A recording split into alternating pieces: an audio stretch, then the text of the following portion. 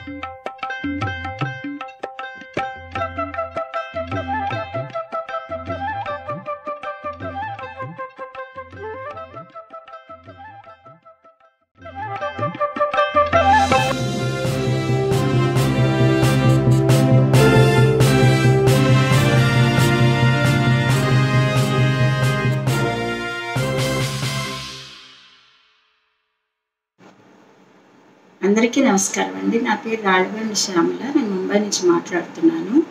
ఈ తెలుగు చిత్ర పరిశ్రమకి పట్టాభిషేకం అన్న శీర్షిక ఈవెంట్ మెగా ఈవెంట్ చాలా గొప్పది. చాలా గొప్పగా ఛానల్ ఫైవ్ వారు చే ప్రవేశపెట్టారు. దీంట్లో పార్టిసిపేట్ చేయడం నా అదృష్టంగా భావిస్తున్నాను. ఇంతకుముందు ఛానల్ ఫైవ్ వారు చేసిన ఎన్నో అన్ని ప్రోగ్రామ్స్లో నేను ఆల్మోస్ట్ పాల్గొన్నానండి. పాటలు నా నా శాయశక్తిలో ప్రయత్నించాను నాకు అవకాశం ఇచ్చినందుకు వారికి నా మనస్పూర్వక ధన్యవాదాలు తెలియజేస్తున్నానండి. ఇది చాలా గొప్ప ఈవెంట్ ఇప్పుడు అది తెచ్చింది. సో నేను మాట్లాడేది ఏంటంటే అండి తెలుగు సాహిత్యం. పాత పాటలు సాహిత్యం పాటలు మ్యూజిక్ అంతా బాగుండేది. ఇప్పుడు కొత్తగా వచ్చిన వాటిల్లో కూడా మంచి మంచి కవులు సాహిత్యకారులు మంచి మంచి సంగీత దర్శకులు మంచి మంచి గాయకులు ఉన్నారండి. వాటి గురించి మాట్లాడదాం అంటే వాళ్ళు వాళ్ళ గురించి కూడా మాట్లాడాలి. వాళ్ళకి కూడా మనం ఒక ఇన్స్పిరేషన్ తీసుకుని మనం చేయొచ్చు కదండి. అందుకనే నేను మాట్లాడుతున్నాను. సాహిత్యం మరియు పాట మరియు సంగీతం. ఈ మూడు కలిసి ఉన్న పాటలు చాలా అరుదుగా మనకు వినబడతాయి. దాంట్లో వాన అన్న సినిమాలు ఈ మధ్య వచ్చింది ఒక కొన్ని సంవత్సరాల క్రితం వచ్చింది కొత్తదే అనొచ్చు.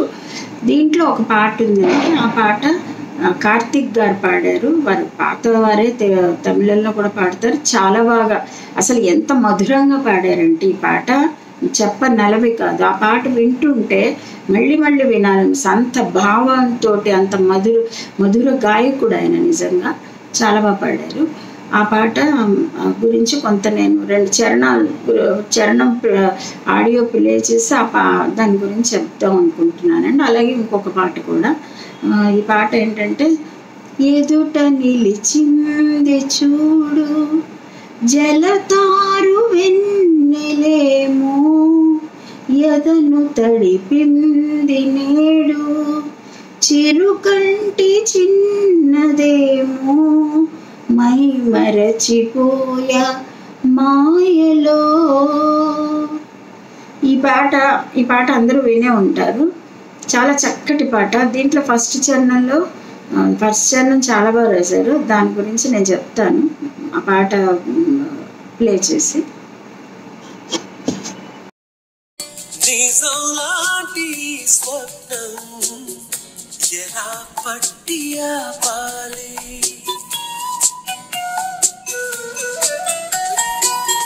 కలే అయితే ఆ నిజం ఎలా తట్టుకోవాలి. అవును కాదు అడగకంది ఇప్పుడు మీరు విన్నారు కదా నిజం లాంటి స్వప్నం ఎలా పట్టి ఆపాలి? అది ఆయనకి ప్రియురాలు వచ్చినట్టు ఒక కళ వచ్చింది. అది నిజమో కాదో అతనికి అర్థం అట్లా భ్రమ అనుకుంటున్నాడు. నిజంగా వచ్చిందేమో అని. అందుకని వచ్చిన ఆ కళని ఎలా ఆపాలి? ఎందుకంటే కళ అయిపోతుంది కదా. నిద్ర అయిపోగానే కళ అయిపోతుంది.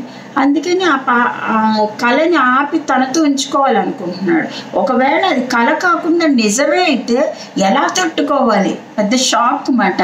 నిజమేనా ఇది? నా ప్రియురాలు వచ్చింది? అన్న ప్రదేశాన్ని ఒక షాక్ మాట. ఎంత బాగా రాశారంటే సిరివెన్నెల సీతారామ శాస్త్రి గారు చాలా బాగా రాశారు ఇది. దాన్ని కమలాకర్ అని ఒక సంగీత దర్శకులు సంగీతం చాలా చక్కగా ఇచ్చారండి. చాలా బాగా అసలు ట్యూనింగ్ ఇచ్చారండి. మధురాతి మధురంగా కార్తిక్ గారు పాడారు. నాకు చాలా ఇష్టం ఈ పాట. ఇంకొక చరణం చూద్దామండి. నిన్నే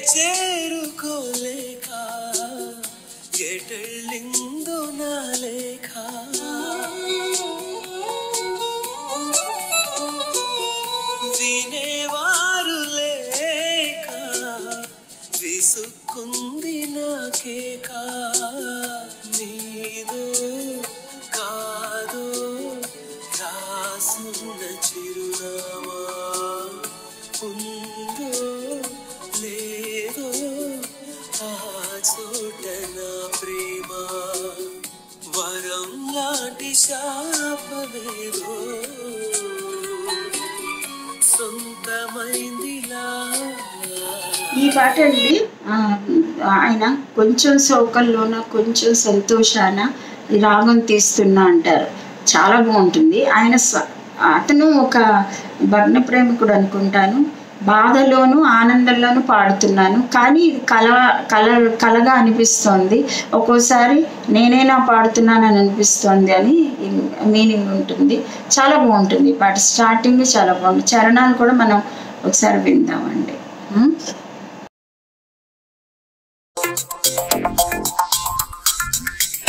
కొంచెం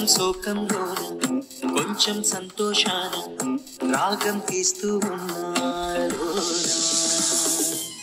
కరిగిపోయి కలైనా కొంచెం చీకట్లోన కొంచెం వెన్నెల్లోన నన్ను చూస్తున్నది నిజము కానీ ఫస్ట్ చరణంలో సాగిపోయే మనసు ఆగిపోయి ఆగిపోయే సాగిపోయే. ప్రాస ఎంత బాగా రాశారో చూడండి వనమల గారు. అది ఆ టైంలో నేను నిన్ను ఆ, చూస్తున్నాను కానీ నాకు కుదరట్లేదని దాని మీనింగ్ మాట. ఇంకా చెంత చేరే వేళలో అంతా ఇదైపోతుంది. నేను ఒక మేఘంలా నివురు కప్పేసి మేఘంలా తేలిపోతున్నానా అని మీనింగ్ చాలా బాగుంటుందండి పాట. రెండో చరణం కూడా మనం ఒకసారి విందాం. విని ఆ తర్వాత ఆగిపోయి